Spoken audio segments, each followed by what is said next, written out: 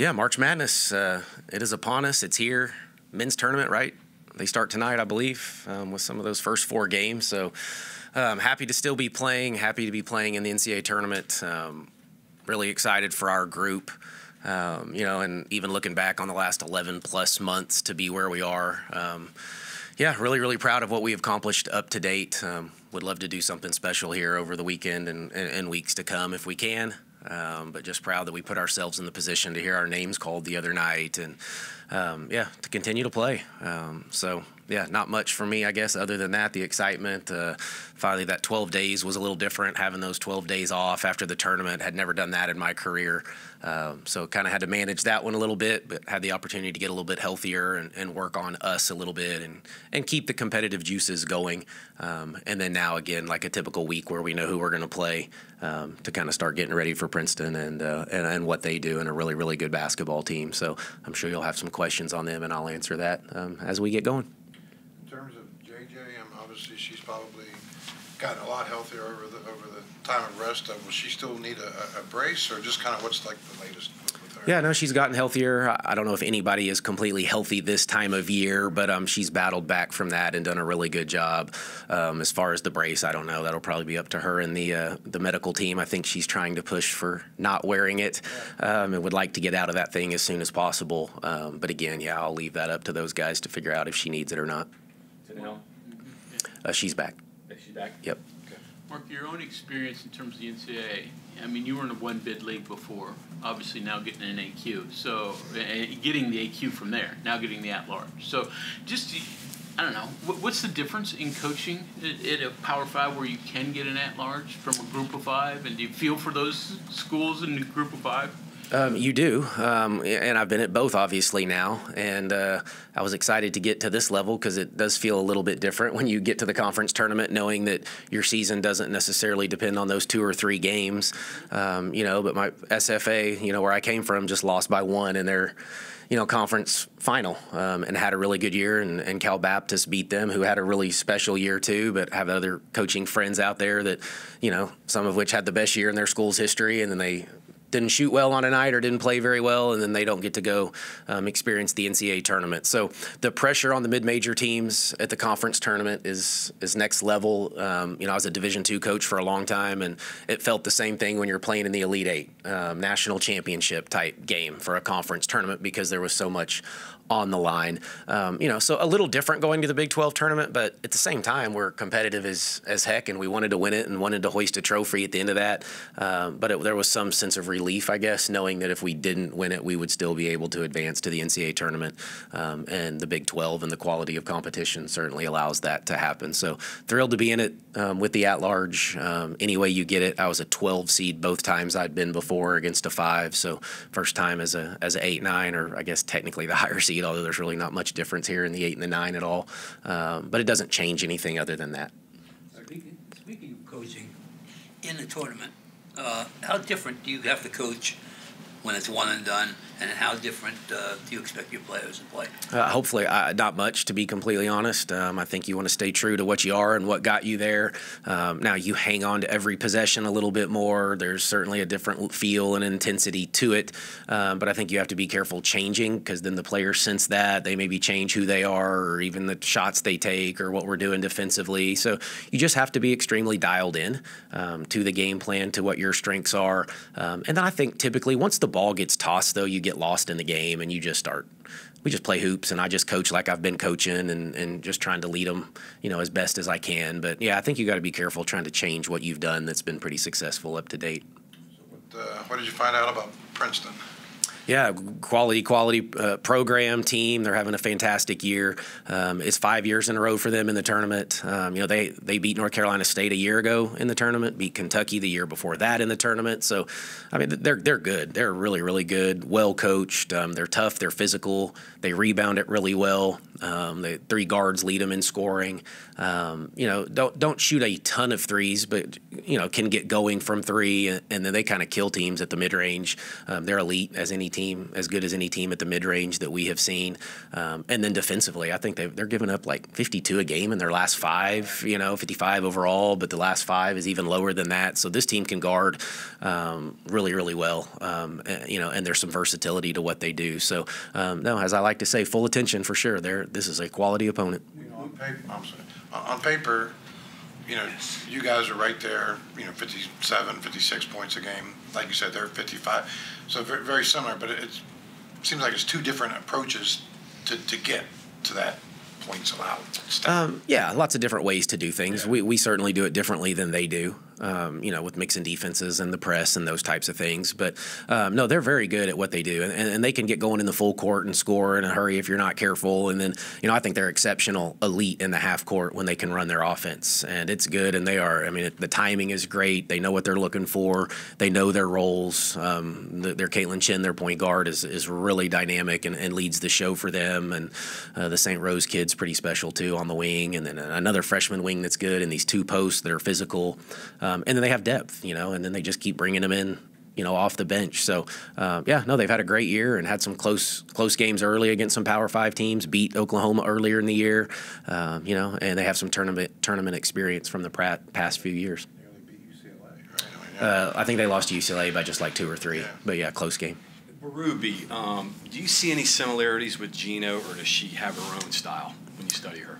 Uh, well, there's some. I mean, some of the offensive stuff, some of the chin action stuff might come from from some of that from Geno's days. But um, no, I think uh, at this point she's put her own stamp on that program and, and done a tremendous job. Um, you know, there on both ends. But yeah, there's. I mean, I think you always take a little bit of who you who you're around or work for or play for, those types of things. So um, some of it, but no, I think it's they're their own they're their own identity. Chen's ability to score, it seems like at multiple levels of the court, and then Mitchell, really good rebounder, I think the best in the Ivy League.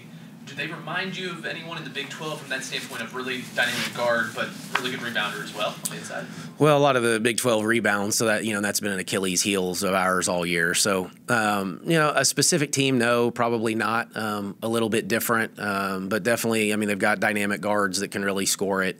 Um, you know, don't really shoot it necessarily at the post position from the perimeter, but they understand what you know their role is, and they do a great job of it. So, um, no, a little bit different, and, and then just you know the they don't quite have the size of some of the Big 12 um, just as in height, but they play just as hard and they're just as physical as some of the Big 12 teams.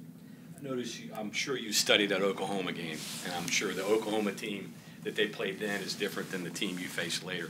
What did you see from that that they were able to do against Oklahoma? Yeah, uh, I haven't got all the way through that game yet, to be completely honest. That was a while back, so I kind of start now and work my way backwards. But you are right, Oklahoma was a little different. I'm not taking anything away from that win because that's a fantastic win. But Oklahoma, from what I've seen so far, looked a little different late in the year than they did early in the year. Um, and I thought they struggled Oklahoma a little bit early and then found their way. So uh, we'll keep digesting that one a little bit. I mean, you'll we'll watch it in detail because it's a common opponent and the only one we have. So we do need to you know evaluate that one a little bit. But um, and we still have some time, but um, yeah, we've kind of focused more on what they've looked like here lately than than where they started to, because Princeton's changed.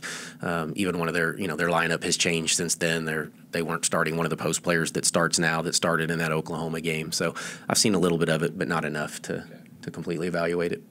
Women's basketball reached the point where they don't have to have Iowa playing at home in, in this, and where you can, you know, have much similar to the men? Yeah, no, I think we're getting close to that. So yeah, the the home sites hosting the first two rounds. I think women's basketball is, yeah, we're trending in that direction for sure. I don't know if we're quite there yet, but this is the closest we've ever been, um, without question. And I think you see some of the conference tournaments on these neutral floors and the crowds that they're drawing. I think we still have opportunities um, to go to neutral sites here pretty soon. Um, you know, when that is, I'm not sure, but I know we're closer now than we ever have been with the excitement around women's basketball.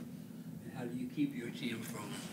I, I, know it's the NCAA tournament, but how do you keep your team from in the back of their minds looking ahead to that next game if they get to there?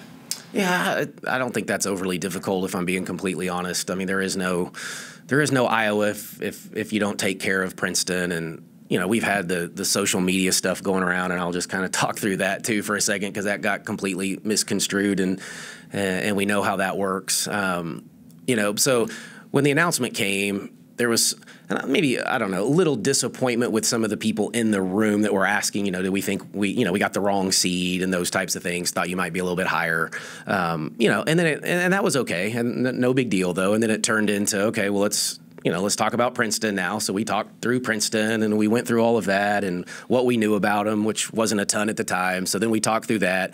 And then it turns into Iowa. And you're going to, then if you win, you get to advance and go play Iowa. And then it's, of course, Caitlin Clark because she's the, she's the face of, like, if we're being real, she's the face of college basketball right now, men and women, I think, uh, above all else. And, and so everybody knows Caitlin Clark. And so, um, you know, and then somebody else used the comment about, you know, if we want to advance, you're going to have to send her packing. And so then I, use that phrase, and now that's turned into to you know what it's turned into, and people Facebooking me and DMing me and my family, and you know I had a a Facebook post to my wife on Valentine's Day, and an Iowa fan has now commented on, you know, something about the biggest mistake of my life was, you know, poking the bear and Caitlin Clark. And, you know, there was no intent in any way, shape, or form to do anything like that. It was just having fun with the crowd at the time. And we will never look past Princeton. We will, that's all we have talked about as a team. That's all we're going to prepare for. If we are fortunate enough to beat them, yes, that would be a great experience to play Caitlin Clark at Iowa. I guess that would be her final home game, right? Because um, she's announced that she's going to go pro. So, yeah, you know, and, and, yeah, and and then at the same time, like, I don't, what would you want me to say to my team? You know, like, so it, it's gotten, yeah, Bleacher Report picks it up, and it's just you know all over the place now. But you know there was no intent. I'm not you know I, she is a phenomenal player, great program, and so is Princeton. And there is no guarantee that we ever even get to Iowa if we don't put our focus on Princeton. So we will. We aren't. We don't. We don't operate that way. That's not even in my character. I don't even you know I'm not one to go talk trash and do those types of things. So we'll put the attention on us. It's kind of gotten carried away a little bit, but at the same time, maybe people are talking about women's basketball or West Virginia women's basketball. So um, we'll roll with it and look at it at that way. But um, no, we, we've got our attention in the right place to answer your original question. Is uh, it's all about Princeton. Most of your players have NCAA experience at one stop or another. Does that help? I mean, just you know, they've, they've been on the stage, seen the pressure? Yeah, no, it helps. Yeah, without question. No, every time you go through it, I think you're always a little bit better. Um, it's called experience, right? I think all of us and whatever our careers are, we get better through experience and decisions that we would, you know, maybe have back when we're younger. Um, you know, and, and, so I think I'm a better coach because I've been through them, and, and the players will be. Um, now, if you've done it together, that is even a better advantage. We haven't all been together, but there was a core group of six, right, that were in the tournament a year ago, um, and then other kids that have transferred in that maybe were a part of them in different programs. So, um, yeah, I think we'll be we'll be good to go. We'll be relaxed and we'll be excited to play when we tip it up Saturday. Point, um, they have six that played in the NC State game last year and three that played in, against Kentucky. So experience wise, they probably have more than you have. Yeah. Oh, yeah. No, they were there and they won a game together a year ago. We haven't. We have not done that yet. So no, there is experience there. They've won two, you know, two games in the last two years. We have not done that here, and we have a new coach. They have a coach that's been in that say program for a while. So um, no, there's a little bit that could be advantage them. But um, you know, I think when you go play these games, it's you know whoever plays better typically wins. This is not a typical nine seed. I mean, their RPI's thir- their net's 34. They play a really good non-conference schedule obviously. Um, and then she's had uh, success. This is not what you normally see from a nine, is it? I mean, I, I, don't know. Probably not. I think they're pretty good. I didn't think we were an eight either, you know, yeah. so we could sit here and say I didn't think we were an eight and they're not a nine. So you get a pretty good, you know, could, I mean, it's going to be a really good first round game. Um, it could easily have been a second round game potentially in some capacity. I mean, just based on however seeds work. But no, it's going to be two really good basketball teams. Um, but I think when you get into these seed lines, that's what you get in the first round. Like anything in that that range, you're going to get two quality opponents. Um, you know that aren't really familiar with each other. I don't know how have we played them. Do you even know, John? Have we ever uh, have we played no. Princeton? So I don't know if there's any even history yeah. there. We have 16, 16 so one. Yeah, yeah. yeah. They've played them. one time. So yeah, one time it, it, to, to match up. so. so that's completely different. Yeah, so no, different coaches, different times. So yeah, not not a lot to draw off of there. Coach, when you guys have really been rolling this year, it's when you've had that third, fourth, maybe even the fifth contributor. Uh, lately, seems like like Jordan, JJ, and then everyone else is kind of leveled off. I, you know, I don't know if, if you agree with that or not, but I mean, how do you kind of get the whole bunch rolling again here? Yeah, no, uh, we've worked on it a little bit since the last game to just you know get just it's really get the ball moving, get other people involved, especially early in the game. You know, share it, spread it. Let's see who's got the hot hand. You know, and, and just build confidence. I I think sometimes offensively when you don't touch the ball for a while, you know, you get a little stagnant and then you do touch it and either you don't want to shoot it because you hadn't touched it or you do shoot it, but it doesn't feel right because you it hadn't been your hands in a minute. Um, but yeah, it, it's on us to do that. We have been at our best with three or four. I mean, my goal every night is four in double figures. Um, we've probably, I don't know, we can go back and look what our our record is when four get to double figures, and it's probably pretty good. When four don't, that may be when we aren't as good. So we do need to make sure we share it and spread it and get and get several kids involved who, who have an ability to score. Um, you know, but get Lauren going again, and Jayla's been really good off the bench here. You know, and Kyah and Kylee and those guys, and then the other post players off the bench. So I mean, we we know we have the ability to do it. We just got to kind of get back to who we are. And playing somebody that's not maybe as familiar might help. You know, that's what happens this time of year too. Stuff you've been running earlier in the year you know may work again because your you know your conference schools just scout you and they have so much information on you that you know you get to the tournament and it kind of frees you up a little bit. And, and Princeton would think the same way. There's no way we can get all of their stuff in, in four or five days.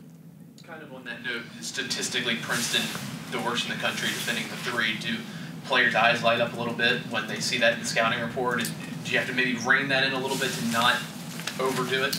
Yeah and I think that's a little uh, it's a maybe confusing or a misnomer a little bit because they don't give up very many though. So you know they only give up five or five point eight something like that a game. So it's not like you're shooting it at a high percentage and they're giving up 10 or 12 threes a game. So um, you know, but they do keep you in front defensively, and you know you have a little bit of space, but that's what makes them pretty good at the rim and they can contest. And so by doing that, they also make up for it in other areas with what they do defensively. So um, you know our kids will have open shots, but that's every game. You know, and, and you've just got to be ready to convert when you get those. And so hopefully, yeah, when we tip it up, we have an opportunity to get those looks and do a good job sharing it. And then our kids need to shoot it with confidence for sure. As far as the time off goes, obviously it helps with injuries. Do you think it can hurt you guys at all finding your rhythm or just your cohesiveness when you get back on the floor? Uh, a little bit. I mean, we've tried to do some things now to sharpen it all back up again and really, you know, just get them back in the swing of things. So we were able to rest a little bit, and then we picked up the intensity, and then you get to rest just a hair, and then now it's like, no, we're we're in full go mode at this point. So um, it's still nothing like playing a game, but we've played some quarters and we've competed and we brought in our guys to just kind of get us to play at the right pace and the right speed. Um, so, you know, maybe for, for a couple minutes, but after that, we'll settle in. I think we'll be okay. Mitchell, double zero, kind of does their dirty work. Is that how you describe mm-hmm. it? Yeah. Oh, yeah. No, she's she is tough, physical, fantastic rebounder. Um, you know, I mean, she even comes into the game. She got like arm sleeves, wrist taped up, leg sleeves. Like, no, the kid's ready to go to battle, um, and you can tell. And she was the defensive player of the year in their league, and probably rightfully so. Um, and so, yeah, she'll set the screen. She rolls. She can score at the rim, um, face up to 15 feet. Really, really good player. One other thing here: uh, 402 assists on 804 baskets that's kind of their style, right? That's half their baskets. Half, yeah, fifty percent. Yeah, fifty percent of those shots, yeah, yeah. are assisted. So, um, you know, and when they're not, they're you know, it's all, all that stuff off the dribble into their mid range that they're you know, I mean, this is one of the best mid range teams by percentage too that we've seen all year. And analytically, a lot of people don't think that's a great shot, but right. you know, if you can get there and shoot it at the percentage that these kids do, then it yeah, it's it's very effective. So, um, yeah, no, they're it, it, they're a well disciplined, well oiled machine if you allow them to, to flow and run offense. Yeah, going back to the beginning the season, we obviously didn't really know anything about Jordan at that point, but we, we did know who Lauren Fields was from previous games. And um, so, you know, you kind of see her as the, the prized new newcomer coming in. So now we're at the end of the year. Have you gotten everything that you had hoped for out of Lauren? And, and you know, this time of year, is this kind of why you bring her in for the for this kind of for this type of year. Yeah, yes to probably all of those questions. Lauren has been fantastic. She has, I mean, phenomenal kid great character, great in the locker room. You know, all of that was there. And I didn't know her unbelievably well, but, I, you know, my staff did. And that's what we wanted. That's what we wanted to bring into the locker room. So great fit there, first and foremost, and then really good fit for us. She has started every game. She's had huge moments for us. She's hit big shots for us. She's, I mean, she's an all defensive kid in my mind. I know she didn't get it, but she's an all defensive kid in this league. And, and I think has been in the past. So phenomenal defender. Um, you know, there's been some inconsistencies at times, but that's that's every kid. You know, that's not any different. You know, than Lauren. Um, so yeah, and then I think these are going to be her best moments. Like she's going to play really well on Saturday, and I fully expect that. And she'll be dialed in and, and probably be relaxed because she's been in the moment and played a lot of college basketball. So not only have a game coming up, but the portal opened yesterday. So how much portal recruiting did you start doing yesterday? I assume you probably even started prior, looking at needs, but well, how much Um, oh, it was hot and heavy yesterday. Um, I think we need to reevaluate the timing of that portal window opening on the Monday after Selection Sunday. Does not make any sense to me whatsoever. So that needs to get pushed back probably a couple weeks at least, um, and allow teams to really focus on you know what they want to do, which is your own team. So, I mean, we have coaches and and help um, that that are looking at that and perusing it and keeping tabs on it, um, while the rest of us kind of focus, you know, more of our attention on obviously Princeton. But no, there was there was some recruiting going on yesterday too, mixed in there, and and trying to stay focused just so you stay on top of it. Um, but it's just the beginning too, and now with the waiver where they're all eligible and two times transfers, two time transfers can play, so it's going to be. It'll be interesting to see how many, like what the numbers look like. We got one more round of COVID kids too, so they're in there, and now multiple multiple transfers are, are eligible as long as they meet some certain, you know, academic restrictions. Um, so it's it's just going to keep going, you know. And as teams lose, they'll they'll keep going. But here's what I think it's affected too soapbox here a little bit. But so like the WBI is one of our postseason tournaments, and they had to cancel their tournament yesterday. They didn't have enough teams, and so now we have the WBIT in women's basketball, right? That the NCAA runs, and then we have the WNIT, which we've had for years, and the WBI. Well, now we have. Because kids were going into the portal, they're choosing not to play in the postseason that should probably be playing in the postseason and finishing their obligation to their team, but they're choosing not to. And so teams now are having to back out because they don't have enough players. And so then other teams that probably even barely qualify for the postseason are getting to play, which then now the WB, WBI doesn't even have enough teams to exist. So kids aren't even getting opportunities to play in the postseason. So and I don't know that the portal is all of that, but I think that's a big old piece of it right now is that, oh, ironically, these kids now are worried if they don't get in the portal early enough that, you know, they may lose out an opportunity. So they do. They choose that over finishing the postseason with their team, which forces coaches to have to back out of it and not let their kids or those that want to play on their team um, play in the postseason because they just don't have enough bodies. And so it's the unfortunate snowball circumstance of what's happened right now. And I think if we move the portal back, I think maybe more kids would stay and finish the postseason, um, and then they could go into the portal, and we could all kind of be happy here, and we can get more kids in the postseason, more coaches coaching in the postseason, and just more opportunity. Coach, as far as um, with the host campus sites for the first two rounds, I imagine there's probably going to be pretty good crowds at, at the other 15. I can't imagine any of them are going to equal what you guys are going to see at Iowa with the uh, obviously the excitement that Clark has, has built. Is, is that anything you've like?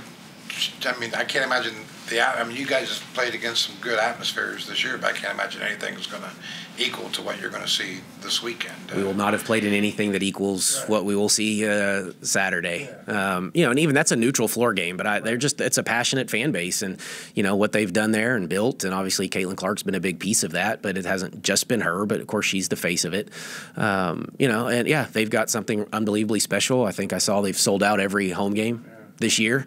Um, you know, and so they'll be a you know they'll they play before us. They're the I think what two o'clock their local time game on ABC that day, so they're going to play in front of us. So I imagine a, a big contingent will stay around. You know, assuming.